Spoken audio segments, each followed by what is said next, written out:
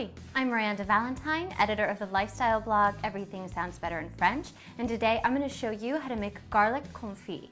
Now you're most likely familiar with the term confit when it comes to duck, but confit is really just anything that's been cooked in an oil or a fat at a very, very, very low temperature, 180 degrees, for quite a long time. In this case, we'll be cooking this garlic for 40 minutes.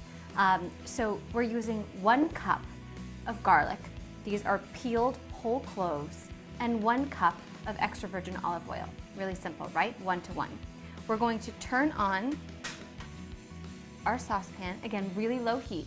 So you just wanna see the tiniest, tiniest bubbles that are going to pop up. We're not trying to fry it.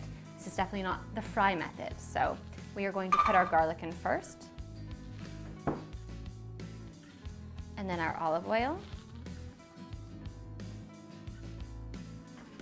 And we're gonna keep an eye on it. You wanna wait until the oil heats and really make sure that it doesn't come to any sort of like rolling boil or sputtering or simmering.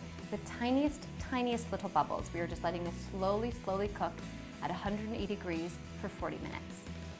Okay, so my garlic confit has been cooking. Um, it's been 40 minutes, so just gonna turn the heat off. It smells amazing.